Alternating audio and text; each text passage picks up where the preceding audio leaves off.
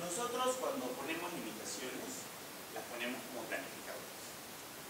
Como planificadores tenemos que tener la absoluta claridad de qué cosas se me pueden poner en el camino.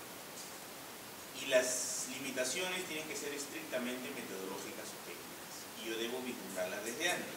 ¿Qué pasa si yo no vislumbro estas limitaciones cuando empiezo, o sea, antes de empezar la investigación? Cabe la posibilidad de que cuando haga la investigación no pueda terminarla, no pueda concluirla, simplemente no hay tesis. Comentaba el caso de una autoridad que quería hacer un mapeo nacional, un remapeo de todo el Perú, con la finalidad de comparar esa cartografía con la que ya tienen para ver eficacias, etc. Y bueno, simplemente esta persona perdió el poder, no continuó y no pudo concluir su tesis surgió una limitación que él no previó. Entonces, una de las características de las investigaciones es que usted debe hacer una investigación a su alcance, pero en el más llano nivel de poder. No debe influenciar poder político, ni poder técnico, ni poder económico. En el plano donde trabajan, en el lugar donde están, de manera cotidiana, de manera constitucional, de manera corriente, usted hacer una investigación que demuestre no causas o consecuencias y entonces, al hacer esa investigación, ustedes tienen que medir sus capacidades, medir los recursos técnicos que requieren. Cuando ustedes levantan información, por ejemplo, antecedentes o investigaciones, y encuentran que la mayoría de las investigaciones tienen problemas de diseño, la mayoría son descriptivas exploratorias, y usted va a hacer un caso control, una cohorte, un experimento, y la mayoría son simples, la limitación es esa. Existe poca comparabilidad debido a las investigaciones encontradas, son de un carácter eh, digamos, o son de bajo nivel científico metodológico. ¿Entienden? O sea, las limitaciones se tienen que poner a priori, sí o sí.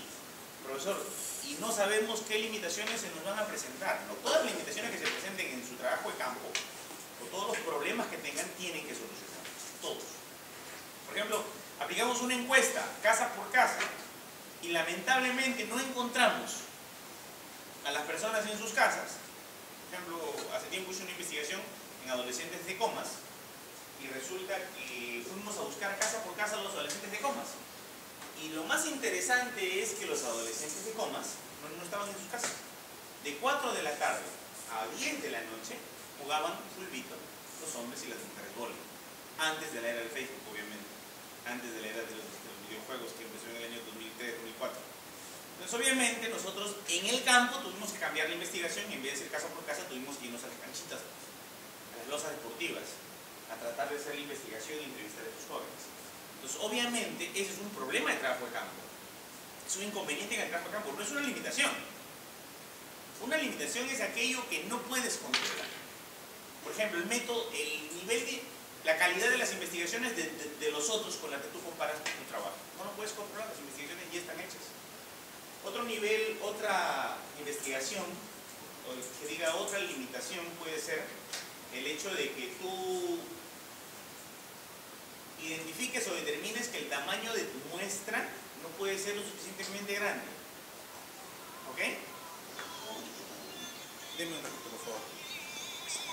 Un ratito.